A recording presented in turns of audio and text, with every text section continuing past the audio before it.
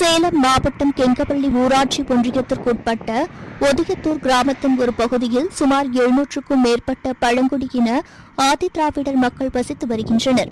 இந்த பகுதியில் சட்ட மாமேதை புரட்சியாளர் அம்பேத்கரின் திருவுருவ சிலை அமைப்பதற்கான அனுமதி வழங்க கோரி கடந்த இரண்டாயிரத்து பன்னிரெண்டாம் ஆண்டு முதல் வருவாய்த்துறை மற்றும் மாவட்ட ஆட்சியரிடம் பலமுறை மனு அளித்தும் எந்தவித நடவடிக்கையும் எடுக்காததால் கடந்த ஆண்டு நடந்த கிராம சபை கூட்டத்தில் புரட்சியாளர் அம்பேத்கர் சிலை நிறுவ தீர்மானம் கொண்டுவரப்பட்டது.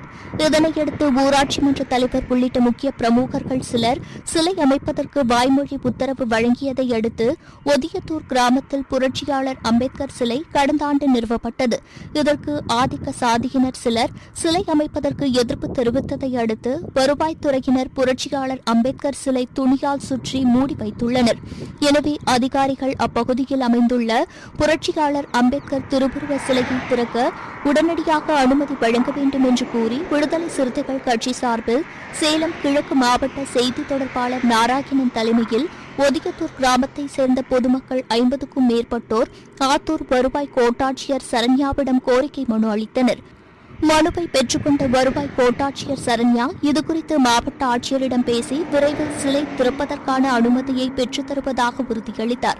இந்நிகழ்வில் ஆத்தூர் ஒன்றிய செயலாளர் ராஜீவ்காந்தி ஆத்தூர் நகர துணை செயலாளர் மூக் நாயக் மணி நரசிங்கபுரம் நகர செயலாளர் சாமுண்டி குமார் மற்றும் நகர ஒன்றிய மகளிர் இயக்கத்தை சார்ந்த நிர்வாகிகளும் தொண்டர்களும் கலந்து கொண்டனர்.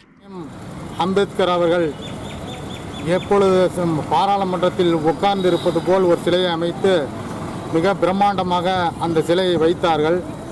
அந்த இடத்தில் வைக்கும் பொழுது எல்லோரும் அமைதியாக இருந்தார்கள்.